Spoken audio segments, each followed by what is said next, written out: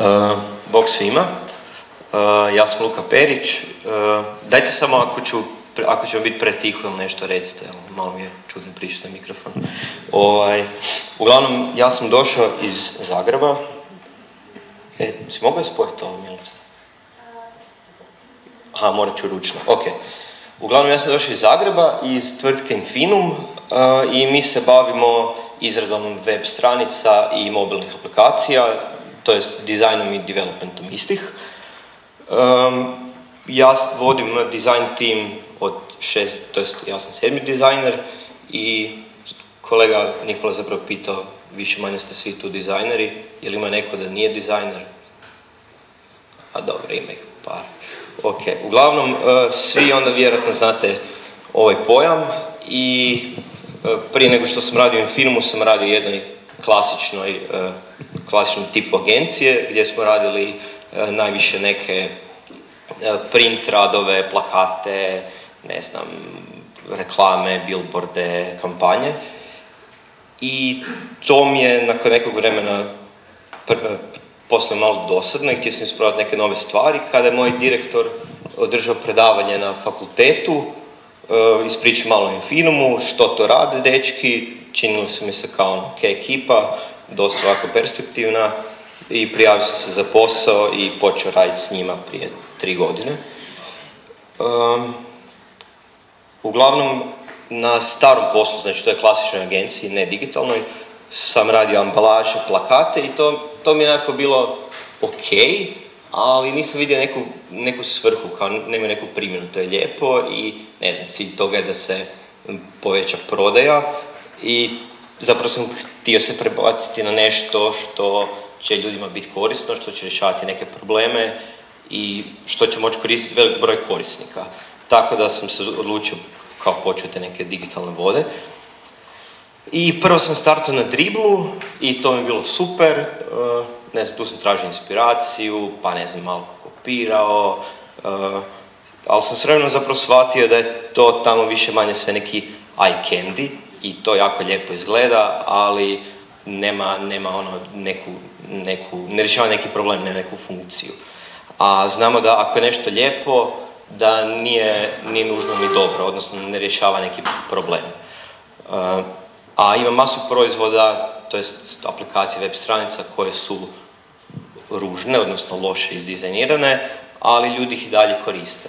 Ne znam, je li vam pada na pamet ovako nešto na prvu? Eto, Excel. Snapchat, da, da. Ovaj, da, uglavnom ima ih masu i sad sam čuo, neke ste čak i spomenuli. Znači, Craigslist postoji, znači, ono, i dalje u upotrebi, postoji Wikipedia koja je ono najpopularnija enciklopedija na, na internetu.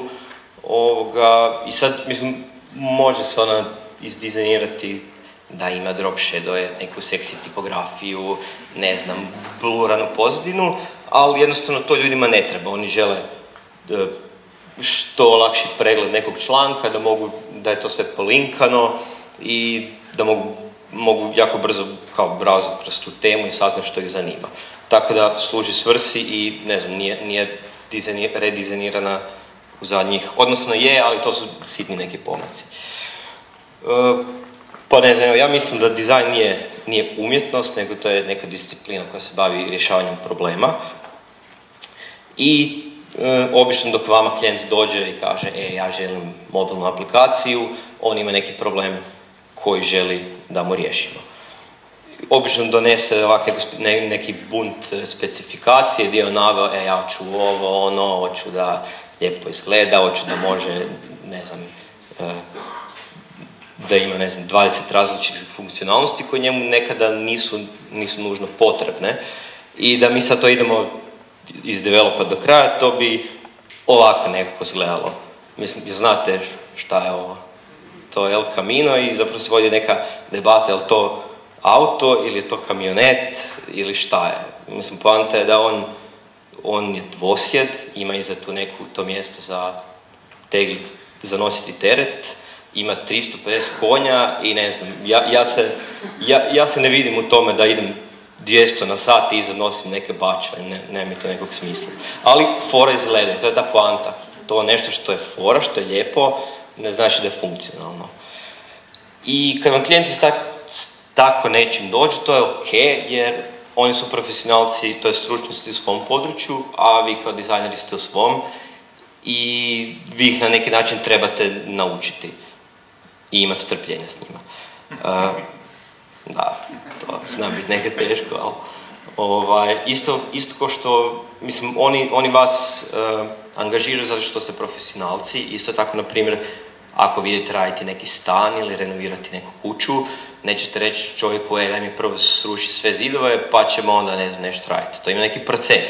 Nađete se sa arhitektom koji se tim bavi, kažete mu, ne znam, hoću imati spavaću sobu, ormar neki, dnevnu sobu s kaminom i objasnite mu na koji način ćete vi taj prostor koristiti. Želim da mi je soba spavača negdje izolirana, znači na, na kraju kuće gdje, gdje je tiho, gdje nema buke. Želim da mi je ormar blizu izlaza da mogu jak nastaviti kada god uđem, a ne da moram prešetavati se po cijeloj kući. Uh, I znači svi imaju neke potrebe, uh, vi, mislim, klijent i, i korisnik ima neke svoje potrebe i vaš cilj je da nađete neku sredinu toga i zadovoljite jedne i druge, što je dosta teško i neka zna biti velika borba. I tako, na primjer, ne znam, Facebook, koji svi vjerojatno koristite, je najtipičniji primjer. Znači, korisnik želi neke, neki kontent koji je njima interesantan, uh, želi komunicirati sa prijateljima, a Facebook on želi na neki način, on želi neki profit ostvariti i želi plasirati oglase. I kako su oni to riješili? Tako da su, uh, tako da su oglase vam nekako ukomponirali u taj timeline i ne, i ne, i, ne samo da vam daju oglase koji vas zanimaju, jer, uh, jer su kao povezani sa Googleom i onda znaju što ste vi zadnje tražili, ne znam, evo ako ste tražili UX Meetup Belgrade, onda će vam iz, izbacivati ovaj fun page na primjer. I ne samo to, nego oni su opet u formatu neke objave. Znači nisu, ne iskaču od ostatka na, na, na, na neki drugi način.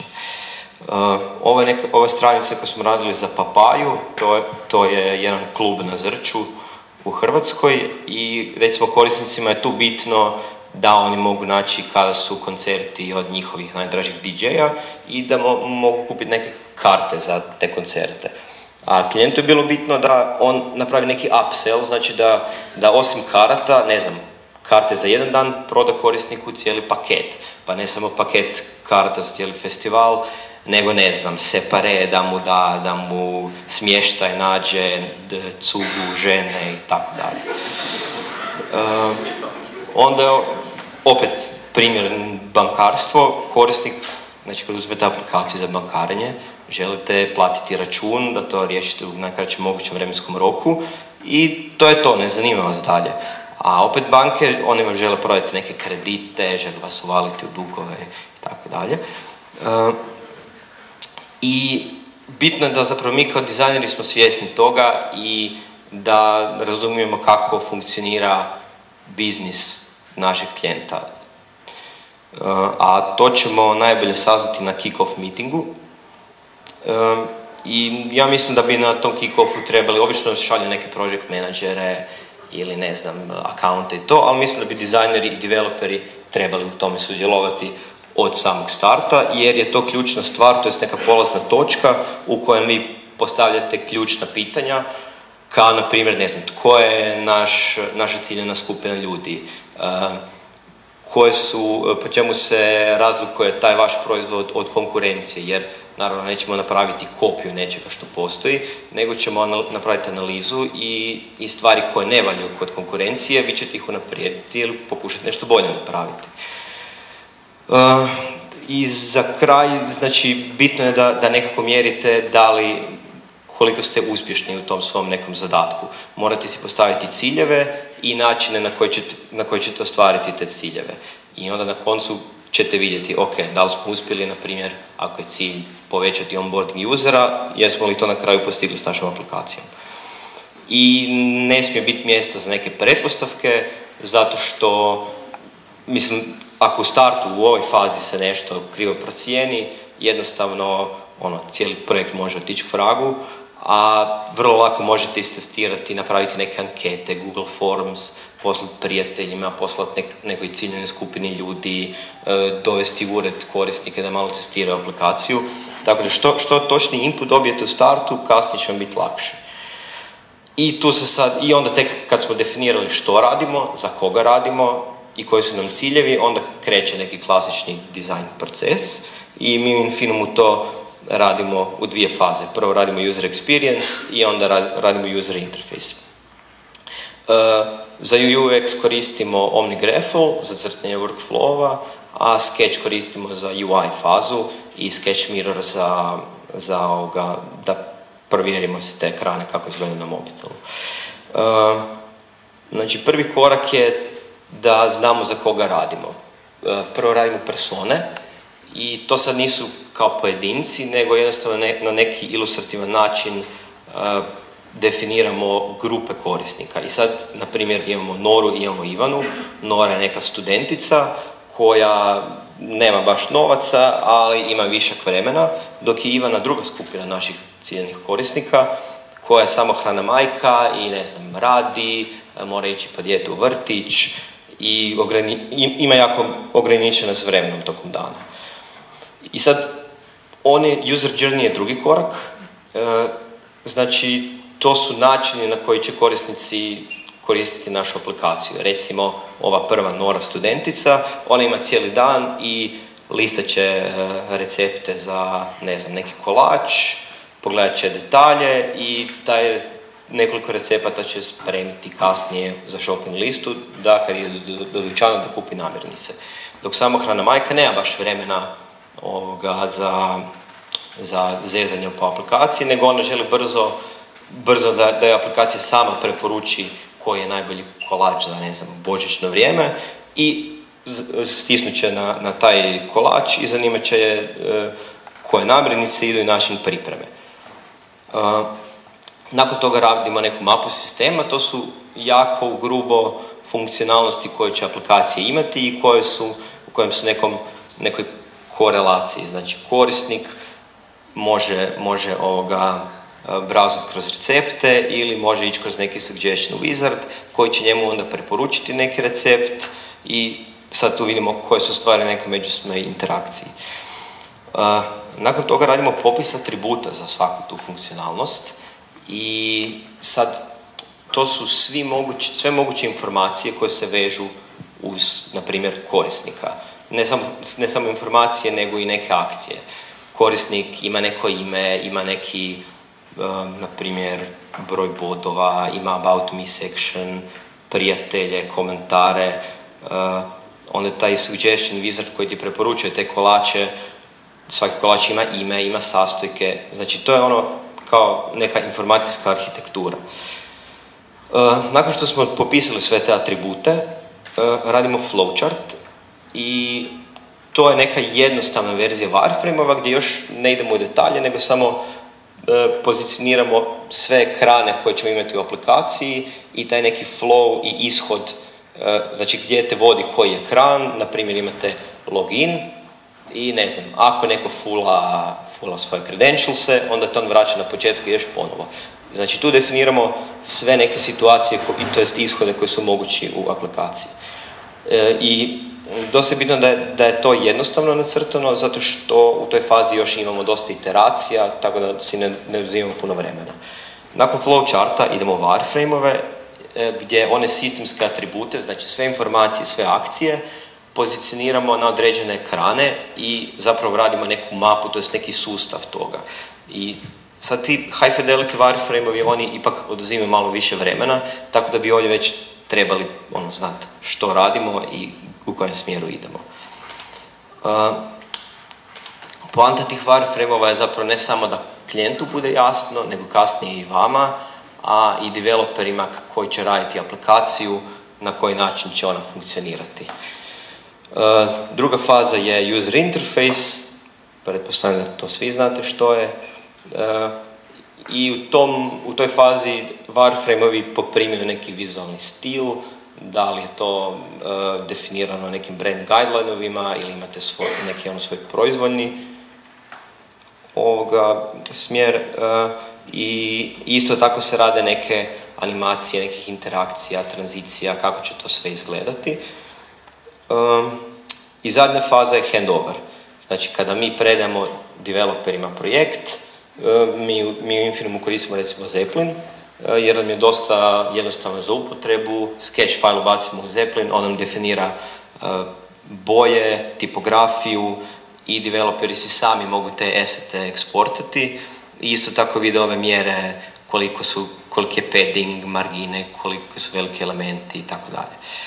I nakon toga se radi design review gdje mi zapravo provjeravamo da li su developeri napravili onako kao što smo mi nacrtali i to je meni najdrža faza, jer onda mogu vikat na njih, to mi je super. Uh, jer ne znam, oni, ne znam zašto, ali oni baš nemaju oko za to i tipa, najdraže mi kad kažu, ne znam, pa dobro, pa, pa ovo je isti font koji si ti stavio, a nije, i onda ih moram tamo tlačiti, ali mm, poante ako, ako proizvod ode van, a nešto loše napravljeno, vi ste krivi zato što vi, vi ga niste ispravili, jer na vama je odgovornost da, da kažete jel, jel to napravljeno prema vašem dizajnu ili nije. I uglavnom neki zaključak svega bi bilo da klijenti nisu dizajneri, morate im ono objasniti, morate imati strpljenja, e, morate pitati u startu dobra pitanja, prava pitanja koja će vam pomoći, ne samo vama, nego i možda klijent nije, nije svjestan ne znam, nekih problema ili, ili ne, možda nema uopće definirane ciljeve što želi, možda misli da je aplikacija ono, trend, trend imati aplikaciju, pa kao sad bi on to, možda uopće ne treba. I zadnja stvar da morate imati uh, neke, da morate potkrijepiti argumente sa nekim dokazima. Uh, uglavnom, mobilne aplikacije, to, to, ne samo aplikacije, web stranice, to je živa stvar, to nije sad kao mi ćemo izbaciti aplikaciju, to je to, nije to plakat koji ćete zalijepiti on će biti ono, na zidu mjesec dana i gotovo, nego kroz vrijeme se ona mijenja, isto tako se mijenjaju i zahtjevi ne samo korisnika, nego i klijenata. Mislim, na primjer, Instagram se dosta promijenio u zadnje vrijeme i ne samo vizualno, nego i sa svojim funkcionalnostima i ono, kao moramo nekako cijelo vrijeme update taj sistem. I evo, to bi bilo sve od mene, pa ako imate pitanja.